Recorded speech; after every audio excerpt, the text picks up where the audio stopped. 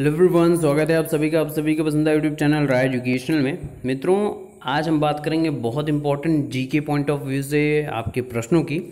परीक्षा में पूछे गए अध्ययन के ऊपर, यानी स्टडी के ऊपर आपके प्रश्न, कि इन पार्टिकुलर चीज़ की स्टडी को क्या बोलते हैं, इस पार्टिकुलर चीज़ को स्टडी को क्या बोलते हैं, यानी कि पक्षियों के अध्ययन को क्या बोलते हैं, मधुमक्खियों के अध्ययन को क्या बोलते हैं, कवकों के अध्ययन को क्या बोलते हैं, मछलियों के अध्ययन को क्या बोलते हैं।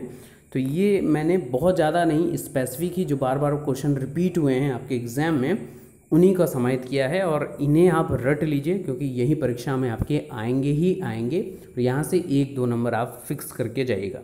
बाकी इसकी पूरी पीडीएफ हम अपने टेलीग्राम ग्रुप में आप सभी को पता है, अपने टेलीग्राम ग्रुप में अवेलेबल करा देते हैं। हमारे टेलीग्राम ग्रुप का नाम है R A I Rai educational जिस नाम से हमारा चैनल चलता है ये यूट्यूब का।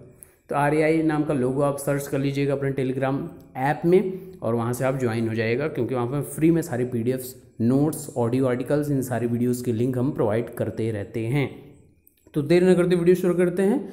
वीडियो पूरा इंग्लिश हिंदी दोनों कंटेंट में, इसलिए आप कोई भी बैकग्राउंड के हो इंग्लिश के हो हिंदी को आपको दोनों लोगों के लिए लाभप्रद होगा। तो चलिए पूरा इमेज के साथ सारी स्टडी को हम लोग रीड करते हैं और मैक्सिमम शेयर कर दीजिएगा।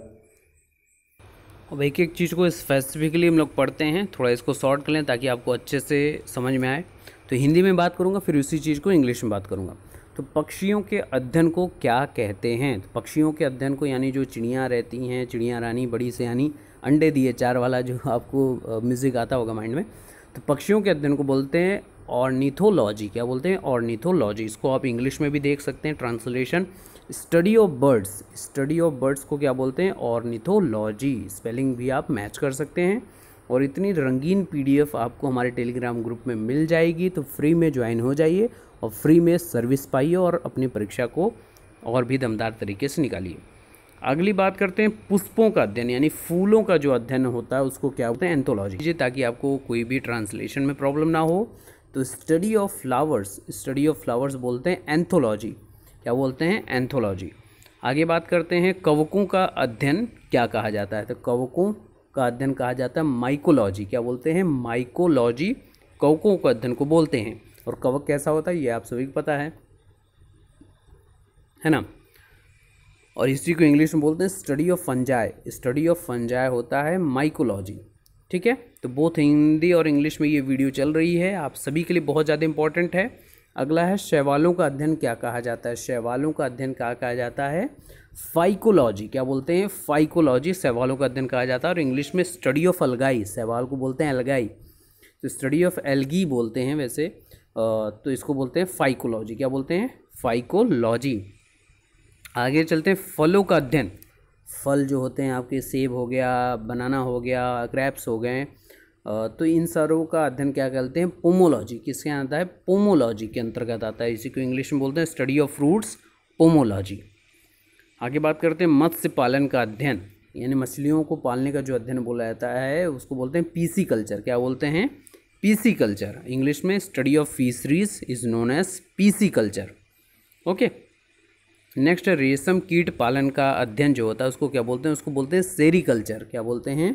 सेरिकल्चर क्वेश्चन बहुत बार आ चुका है, इसलिए बहुत इंपॉर्टेंट है आपका। ये हो गया मछली पालन हो गया, पुष्पों का हो गया कौकों का हो गया सवालों का हो गया, ये क्वेश्चन बहुत बार रिपीटेड है, इसलिए मैं वही क्वेश्चन लेके आया हूँ। बहुत ढेर सारा पूरा एक पीडीएफ भर के हज़ार टू प्रश्न नहीं लेके आया हूँ, इसलिए क्योंकि आपके क्वेश्चन जो इंपॉर्टेंट बनते हैं, उन्हीं को तो पढ़ना है हमको, क्योंकि हम स्मार्ट ट्रिक अपनी मेहनत के ऊपर फोकस करते हैं। हम लोग लार्ड जो होता है मेहनत या जो हार्ड लेबर की तरफ़ बहुत ज़्यादा फोकस नहीं करते हैं, क्योंकि हमको एक ही बार में इतनी मेहनत करनी है, पूरी फोकस तरीके से कि हमारा एग्ज़ाम निकल जाए एक ही अटैम्प्ट में। हमको बहुत ज़्यादा अटैम्प्ट भी नहीं देकर बैठना है। तो स्टडी ऑफ़ सिल्क माउथ या सिल्क वॉर्म जो होता है, उसको बोलते हैं हम लोग सेरिकल्चर। ओके, नेक्स्ट है आपका मधुमक्खी पालन। ये क्वेश्चन भी बहुत इंपॉर्टेंट है। मधुमक्खी पालन को बोलते हैं, इसका अध्ययन जिसके अंतर्गत किया जाता है, उसको बोलते हैं एपी कल्चर क्या बोलते हैं? एपी कल्चर इसको लोग पीसी कल्चर से कंफ्यूज करते हैं, बिल्कुल भी कंफ्यूज नहीं करना है। एपी कल्चर एपी कल्चर अब जब भी आप एपी कल्चर पा करेंगे, ये पिक आपके दिमाग में आएगी, मधुमक्खी शहद लिए हुए। और स्टडी ऑफ़ बी कीपिंग बोलते हैं एपी कल्चर क्या बोलते हैं? Apiculture so this was all about इतनी छोटी सी वीडियो थी जिसमें बहुत ज़्यादा होंगे, सात आठ आपके स्टडी होंगे, अध्ययन होंगे कल्चर होंगे, जिसको आप बातचीत करते हैं और इन्हीं से प्रश्न आपके एग्ज़ाम में आएँगे। आई होप आपको ये वीडियो पसंद आई है। पसंद आई हो तो लाइक करिएगा और इसकी फ्री में पीडीएफ पाने के लिए हमारे टेलीग्राम ग्रुप राय एजुकेशन से जुड़ जाएगा और चैनल पर नए हैं तो चैनल सब्सक्राइब कर लीजिएगा और वीडियो को लाइक करना मत भूलिएगा। Thank you so much